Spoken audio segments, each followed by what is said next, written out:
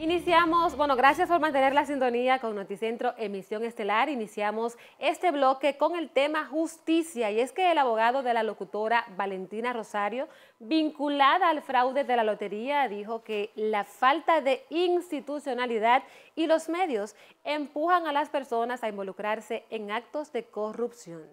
Frank Reinaldo Fermín, defensor de la profesional del micrófono, acudió a la Procuraduría General de la República sin su cliente. Y nuestro compañero Julio Caraballo nos dice más. Julio, buenas noches.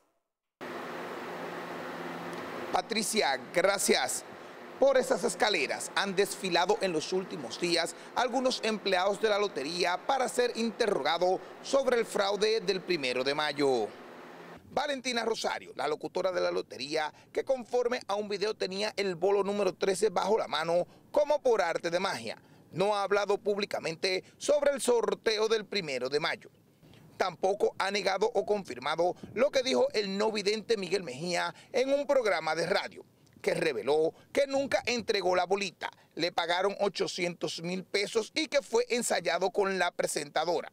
Su abogado explica los posibles motivos que la llevaron a involucrarse. Es lamentable, pero en estos países donde no hay institucionalidad pasa eso. Pues. los medios bajos lo, empujan a muchas cosas. Explicó que la joven estará a disposición de la justicia cada vez que el Ministerio Público lo amerite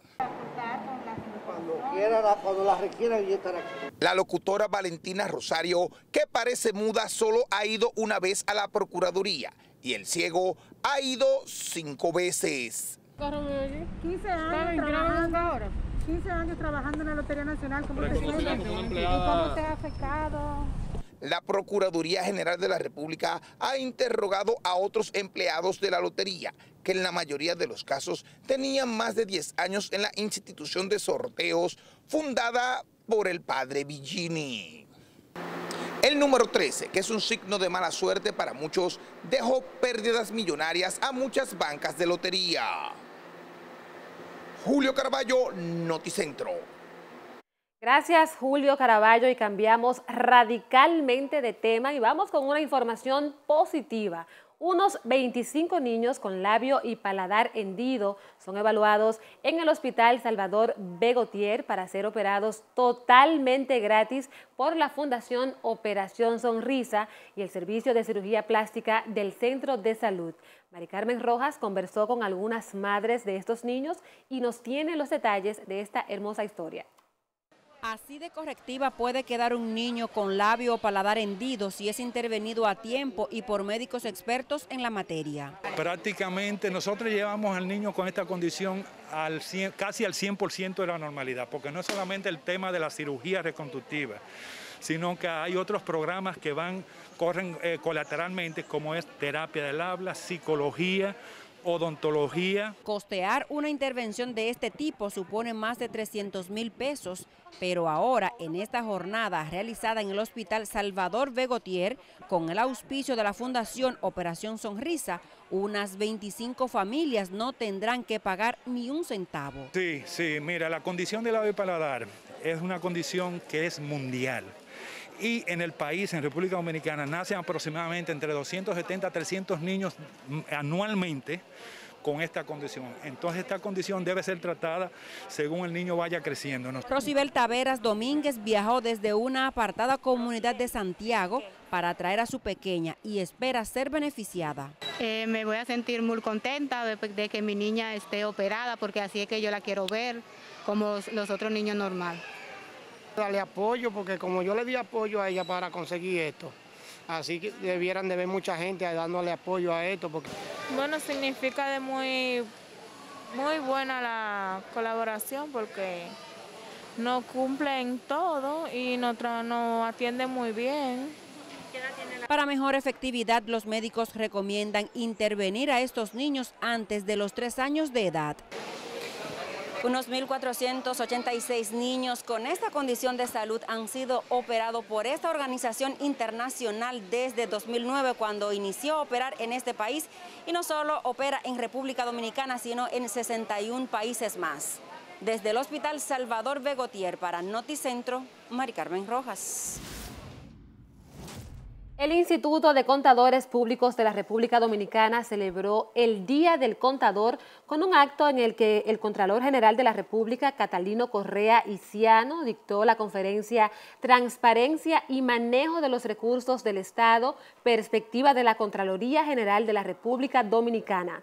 El funcionario destacó que se trata de un tema de actualidad debido a que la sociedad dominicana está reclamando pulcritud en la administración de los fondos públicos.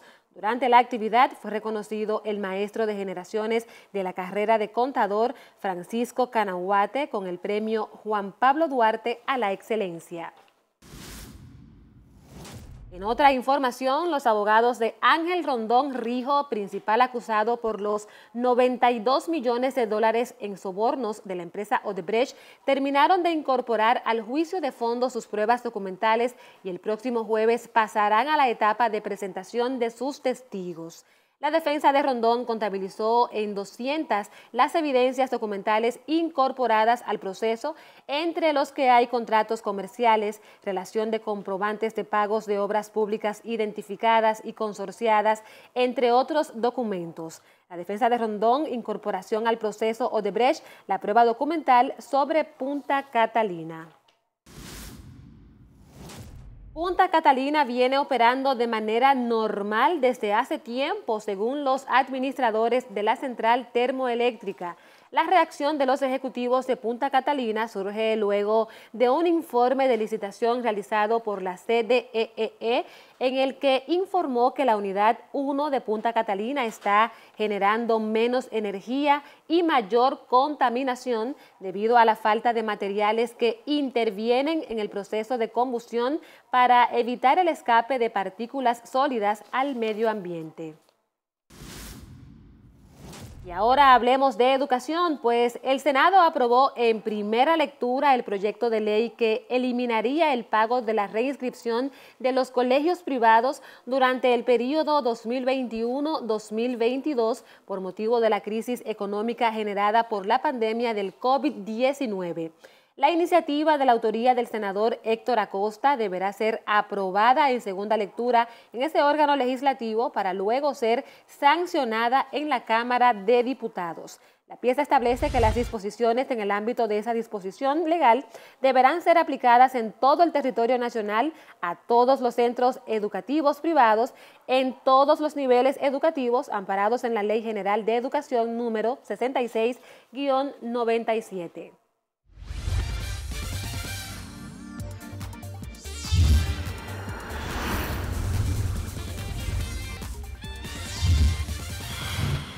Llegado el momento que muchos esperan, la hora de los deportes con la grandota Natacha Batista. Muy buenas noches.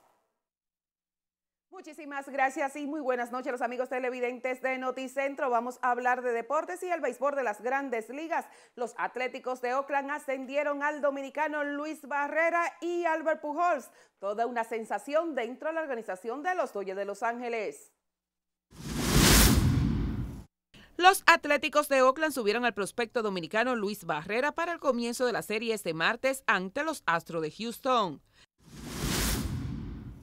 Kevin Pillar de los Mets de Nueva York sufrió múltiples fracturas nasales tras recibir un bolazo en la cara de 95 millas por hora. Así se comprobó mediante una resonancia magnética, informó el equipo. Los organizadores que denuncian abusos de los derechos humanos contra las minorías en China exigen un boicot absoluto ante los Juegos Olímpicos de Invierno de Beijing 2022, un reclamo que probablemente acentuará la presión sobre el Comité Olímpico Internacional, deportistas, patrocinadores y federaciones deportivas. La Federación Dominicana de Taekwondo celebrará el Congreso Nacional de Actualización de esta disciplina, evento programado para efectuarse del 21 al 23 de este mes. El anuncio fue hecho por Oscar Mardonado, secretario general de la entidad hablando nuevamente de Albert Pujols, en el día de hoy fue bajado de cuarto a sexto bate en la alineación de los esquivadores. Hay que recordar que siempre estará en la defensa, ya que fue abolido lo que es el bateador designado, lo que estuvo vigente la temporada pasada en el viejo circuito. Así concluyó mi intervención en el día de hoy y muy buenas noches. Vacunarse es una responsabilidad de todos. Por eso en Viva fomentamos que te protejas y protejas a los tuyos. Si realizas una activación en tu plan prepago y presentas tu tarjeta de vacunación, Viva te regala tres días de internet gratis para que los uses como quieras y para que compartas tu foto en las redes sociales y animes a otros a vacunarse. Ven a Viva desde el 14 al 31 de mayo. Te esperamos en nuestras tiendas y puntos seleccionados. Más información en viva.com.do y en las redes sociales arroba viva rayita abajo rd y arroba vacúnate rd.